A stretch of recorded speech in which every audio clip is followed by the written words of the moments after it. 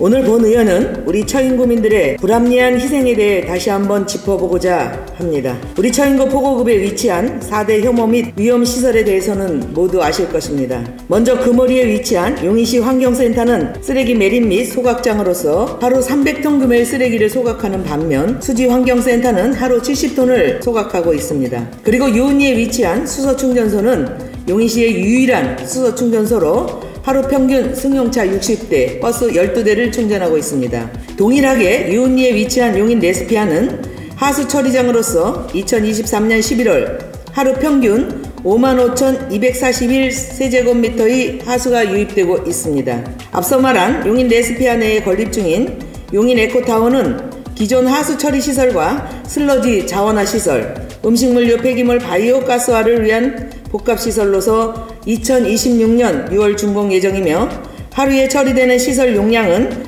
하수 8만 8천 세제곱미터, 슬러지 220톤, 바이오 가스화 시설 250톤을 처리할 예정입니다. 용인 에코타운이 조성되면 용인시의 하수 찌꺼기 및 음식물 쓰레기에 대한 자원화 시설 확보도 가능하게 되며 이로 인해 연간 발생되는 하수 찌꺼기 55,394톤과 음식물 쓰레기 58,828톤에 대한 약 31억 원의 예산 절감이 예상됩니다. 아무리 혐오시설과 함께 체육시설을 설치하였다 하더라도 혐오시설은 국민 누구나 기피하는 시설입니다.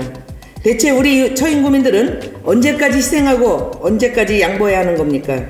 사실 우리 처인구민들의 희생은 이뿐만이 아닙니다. 수변구역 중첩 규제로 인해 지난 24년간 발전은 고사하고 제자리 걸음만 하고 있습니다. 이로 인한 우리 처인 구민들의 고통과 허탈감을 생각해 보셨습니까? 수변구역 지정은 1999년 약칭 한강 수계법에 따라 하천 경계로부터 1km 이내의 지역을 지정하는 것으로 포곡, 모현, 유림동 등 24,213제곱킬로미터로 이는 해당 동 전체 면적의 17.6%를 차지합니다. 더불어 군사시설 보호구역은 군사기지법에 따라 육군항공대가 위치한 포곡, 역북, 유림동 등 27.8 제곱킬로미터가 해당됩니다. 이 두 구역이 겹치는 곳을 중첩 지역이라 하고 포고급 외 3.87 제곱킬로미터로 3,175개 필지가 해당되며 이는 환경부 수변구역 지정 당시 국민의 재산권이 이중구제로 인해 과도하게 제한되는 것을 방지하기 위해 앞서 말한 약칭 한강 수계법에 따라 군사시설 보호구역을 비롯한 상수원 보호구역, 개발 제한구역, 하수처리구역, 도시지역 등을 제외하였습니다. 그럼에도 불구하고 우리 처인구는 24년이 지난 현재까지도 이 두 구역이 중첩 규제가 되어 있어 하루라도 빨리 중첩 규제 해제가 필요한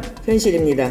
처인구민의 사정을 모르는 일부 사람들은 중첩 규제 해제로 인한 경안천 오염에 대한 우려의 목소리도 있으나 팔당호와 경안천은 공공하수 처리구역 지역인 만큼 특별대책지역 규제를 비롯한 폐수, 가축분뇨, 배출시설 입지 규제, 오수, 하수, 방류시설 규제, 오염 총량 규제 등 다각도의 복합적인 보호 조치가 있어 경안천 오염에 대한 우려는 기후일 뿐입니다. 법에서도 어긋나는 중첩 규제를 해제하는 것에 있어 난개발이라 칭하는 것은 성급한 언급이자 24년이라는 시간을 버틴 우리 처인 구민들을 두 번 죽이는 일입니다. 수변구역 중책규제 해제는 선택이 아닌 필수이며 시의 적극 행정으로 조속히 해제되길 간곡히 바라는 바입니다.